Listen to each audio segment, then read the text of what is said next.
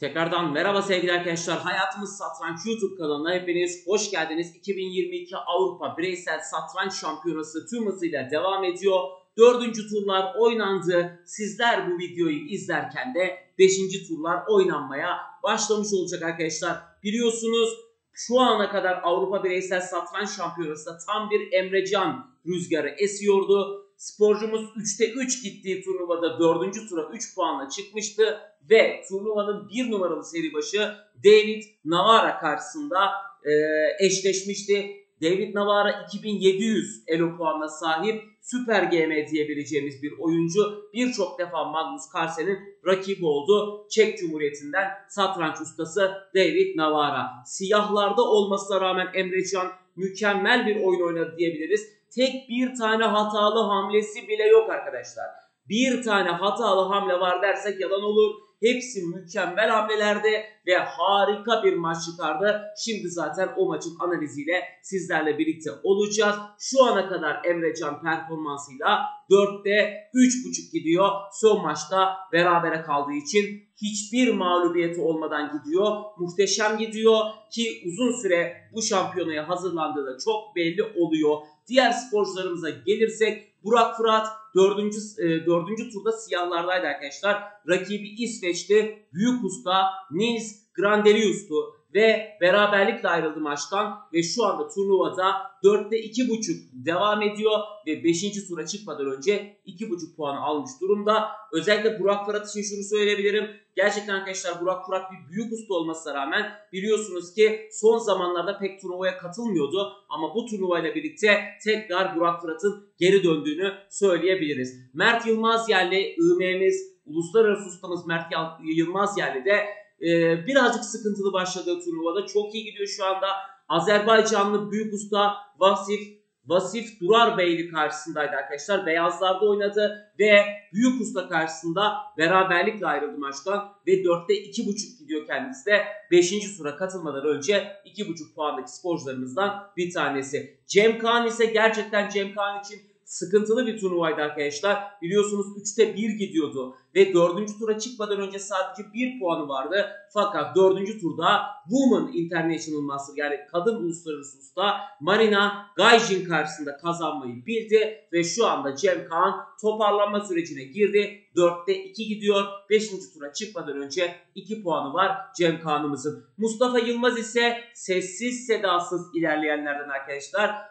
4. Ee, turda İsrail'de rakibi International Master Ido Gorstein karşısında kazanmayı bildi ve sıkı durun 4'te 3 gidiyor arkadaşlar. Sessiz sedasız giden sporcularımızdan bir tanesi ve şu anda Türk oyuncularımızın sıralamasını söylemek gerekirse birinci sırada 4'te 3.5 puanlı Emre Can var. İkinci sırada Mustafa Yılmaz var 4'te 3. Üçüncülük ve dördüncülük paylaşılıyor. Burak Fırat 4'te 2.5 ile 3. sırada. Dördüncü sırada ise Mert Yılmaz yerli var 4'te 2.5 ve son sırada ise Cem Kaan var 4'te 2. Ama özellikle söyleyeyim arkadaşlar Cem Kaan Arap atı gibi sonradan açılacaktır diye tahmin ediyorum. Şu anda 4'te 2 ama 5. turda bir galibiyet alacağımızdan eminim ve 5'te 3 turnuvayı sürdüreceğimizden eminim arkadaşlar. Ve gelelim maçımıza. Evet arkadaşlar dünya çapında bir sporcu. Ciddi manada dünya çapında bir sporcu. David Navara. Çek büyük usta. Birçok defa Magnus'un rakibi olmuş. Birçok defa dünya çapında şampiyonalara katılmış ve dünya çapında ilk onda tanıdığımız sporcuların e, birçoğunla berabere kalmış, kazanmış enteresan bir ustadan bahsediyoruz. Ve siyahlarda Emrecan var. Emrecan ise bu turnuvayı çok iyi hazırlanmış ve siyahlarda olmasına rağmen sıfır hatayla, sıfır hatayla muhteşem oynuyor ve rakibini beraberliğe zorluyor arkadaşlar. Ve bu maçtan beraberlikle ayrılıyoruz. Maçıma geçmeden önce lütfen YouTube kanalımıza abone olmayan varsa hemen aşağıda yer alan abone ol tuşuna basarak YouTube kanalımıza abone olmayı unutmasınlar. Katıl butonu tıklayarak da YouTube kanalımıza destek verebilirsiniz diyelim. Ve beyazlarda David Navara, siyahlarda Emrecan bakalım nasıl hamlelerle başlamışlar. E4'e tabii ki de C5. Emrecan biliyorsunuz C5 yapıyor. İki maçta da e, daha doğrusu iki maçta demeyelim Mustafa Yılmaz'ın bir maçında ve Emre Can'ın bir maçında e, Sicilya savunmasının Moskova gambitini izlemiştik. Daha doğrusu Moskova varyantını izlemiştik. Bir gambit değil çünkü. Beyazlar at C3 ile devam edince şimdi siyahlar at C6 oynuyor. Burada at F3 ve fil B5 devam yolları var arkadaşlar. Fakat beyazlar enteresan bir şekilde at G'den E2 oynuyor. Çok da fazla bir önemi yok aslında bu at G'den G2'nin. Çünkü zaten beyazlar D4 süreceği için zaten C çarpı D4 yapılacağı için ister at F3'de olsun ister E2'de olsun ya zaten bu at D4'e yürüyeceği için zaten pratikte çok da bir manası yok. Ve siyahlar şimdi G6 sürüşüyle benim daha önceden hiç karşılaşmadığım bir varyanta giriyorlar arkadaşlar. Sicilya Chameleon varyantı diye bir varyant varmış. Ben inceleyeceğim bu maçtan sonra en ince ayrıntısına kadar bu varyantı. Videolarına bakacağım, ustaların yazılarına bakacağım. Fakat çok enteresan bir devam yolu var. Bu Fianchetto gerçekten sıkı bir fianchetto oluyor.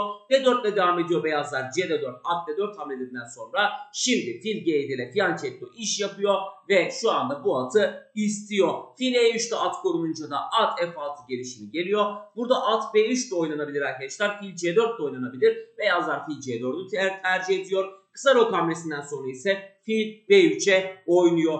D6 sürüşü birlikte tabii ki de C8 filimizin çaprazı da hala hazırda açılmış durumda. F3 piyon sürüşüyle filin herhangi bir şekilde rahatsız edici karelere gelmesinin engellenmesi sağlanıyor. Beyazlar tarafından. Ben siyahlarda burada arkadaşlar bir tane at A5 bekledim aslında.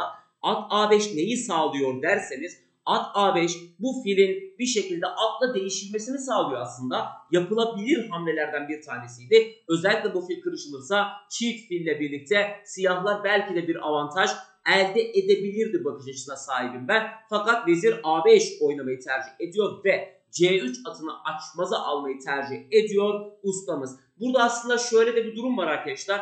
E, beyazların F3 sürmesi nedeniyle e, sanki beyazların uzun rok yapacağını düşünüyor beyazlar. O nedenden dolayı da vezirini rakibinin uzun rok yapacağı tarafa doğru atmış olabilir bizim düşüncemiz. Burada vezir D2 oynandıktan sonra fil D7 gibi sakin bir hamle var. Vezir A6 gibi rakibin kısa rokunu iyiden iyiye bozacak bir hamle var. Fakat burada siyahlar dediğimiz gibi arkadaşlar aslında siyahlara Emrecan'a beraberlik yarıyor. Beraberlik yaradığı için aslında beraberlik üzerine kurulmuş bir oyun var diyebiliriz. At çarpı D4, fil çarpı D4 ve şimdi ise fil E6 son kalan alette gelişti. Burada elbette ki uzun nokta yapılabilir ya da fil çarpı E6 da alınabilir. Fil çarpı E6 beyazlar için biraz daha riskli bir hamle arkadaşlar. O yüzden uzun roku tercih ediyor ve uzun roktan sonra bilin bakalım siyahlar ne yapıyor. Çok doğru bir şekilde B5 sürüyor arkadaşlar. Şah B1 kapı kaçınca da bir de üstüne B4 ver bakalım şu atı. At D5 yapınca da fil çarpı D5 fille almıyor. E çarpı D5 yapıyor ve şimdi vezir B5.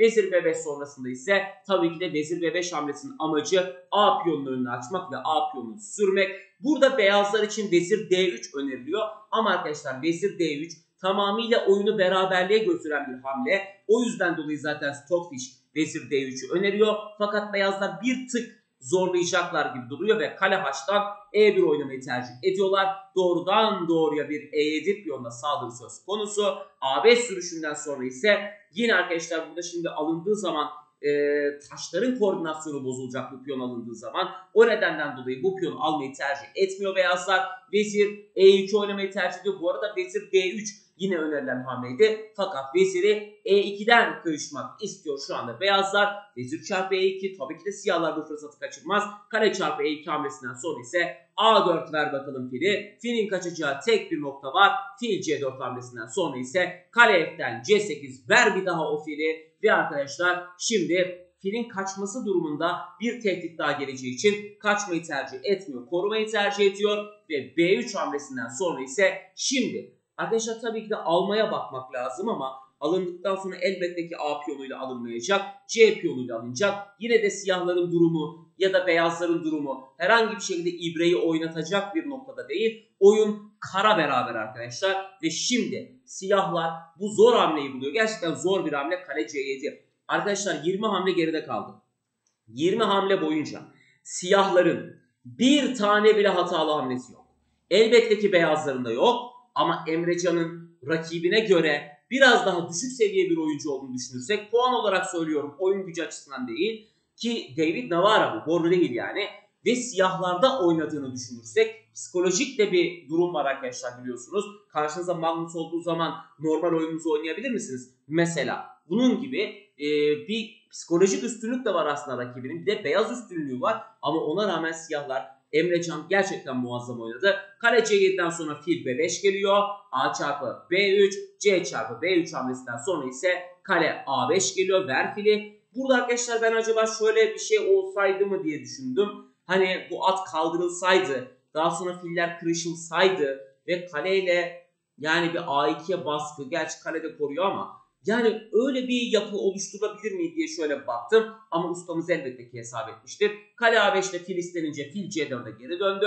Ve kale B7 ile birlikte ise burada beyazların iki tane hamlesi var. Ya G4 piyon sürüşü. G4 piyon sürüşü biraz daha saldırıya yönelik bir hamle. Ya da sakin bir fil F2 hamlesi vardı. Tabii ki de beyazlar kazancı zorlayacak. G4 sürüşünden sonra burada iki tane hamle var. Birincisi at E8 akabinde at C7 manevrası fikri. Diğeri de daha sakin bir şah F8 hamlesi. Siyahlar sakin bir şah F8 düşünüyor. H4 sürüşünden sonra ise yine arkadaşlar atın bir manevra e, hamlesi var. Siyahlar tarafından Emrecan tarafından bulunuyor bu hamle. At E8, fil E3 hamlesinden sonra hiçbir şey çıkmayan hamleler bunlar. At C7, kale C2 hamlelerinden sonra ise şah E8'e geldi. Fil D4 gel fiyanchetloları kırışalım. Fil çarpı D4, kale çarpı D4 ve H6 hamlesinden sonra artık oyun beraberliğe doğru gidiyor arkadaşlar. G5 sürüşünden sonra burada H çarpı G5 alınmamalı diyor bilgisayar. Tabii ki de alınabilir oyun yine de berabere ama H5 sürüşü çok daha doğru diyor. Fakat H çarpı G5 alıyoruz. Siyahlar hiç önemli değil. H çarpı G5'ten sonra ise şimdi şah D7. Şahımız da artık merkezileşti. Kale C'den D2 oynanıyor. At B5 ile ver kaleyi. Fil çarpı B5. İki kareyle de alınabilir. Kale B'den B çarpı B5 yapıyor. Kale çarpı B5 yapıyor. Şimdi şah B2'den sonra ise arkadaşlar bakın tamamen kabız bir oyun var. Yani iki tarafında bir saldırı inisiyatifi yok. Saldırı yapabileceği bir kare yok. Herhangi bir şekilde bir zayıflık yok iki tarafında. O yüzden dolayı tamamıyla eşit bir oyun sonuna giriliyor. Şah D8, kare D1, şah D7, kale F'den, kale birden D2 ve şah D8 hamlelerinden sonra sürekli hamle tekrar yapılacağı aşikar olduğu için iki tarafta el sıkışıyor ve beraberlikte karar kılıyorlar. Emrecan'ı tebrik ediyoruz. Güçlü rakibi karşısında siyahlar da beraberliği yakaladı. Ve arkadaşlar 5. tur eşleşmesinde eşlendirmelerini de sizlere iletelim. Ee, büyük ustamız Emrecan 2578 elo puanına sahip biliyorsunuz.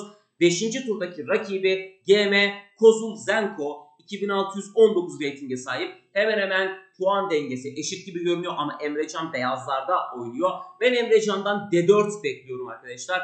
D4 ya da C4'lü bir yapı bekliyorum. Emrecan çünkü e, hazırlıklı ve şimdiye kadar hiç D4 oynamadı. C4 oynamadı bu turnuvada ve bir sürpriz yapacağını rakibini hazırlıksız yakalamaya çalışacağını düşünüyorum. Peki Mustafa Yılmaz'ın rakibi kim? Beyazlarda yine büyük usta Parius oyunu 2546 UKD pardon Elo puanına sahip. Siyahlarda ise Mustafa Yılmaz var. Büyük ustamız 2624 puana sahip. Peki Burak Fırat'ımızın rakibi kim? Büyük ustamız Burak Fırat beyazlarda 2487 Elo puanına sahip. Rakibi ise tanıdık bir isim Andrei Volokitin. Kimdi Andrei Volokitin? Emrecan'dan küsküyü yiyen bir arkadaşımızdı değil mi? Emrecan'ın sillesinden geçmiş bir arkadaşımızdı. Andrei Volokitin 2687 rating puana sahip. Burak Fırat'ın kazanması durumunda elbette ki Burak Fırat'a vereceğiz arkadaşlar. Sayfamızı Burak Fırat'a ayıracağız ve onun maçını inceleyeceğiz. Mert Yılmaz yerli beyazlarda oynuyor IM'miz Mert Yılmaz yerli ve rakibi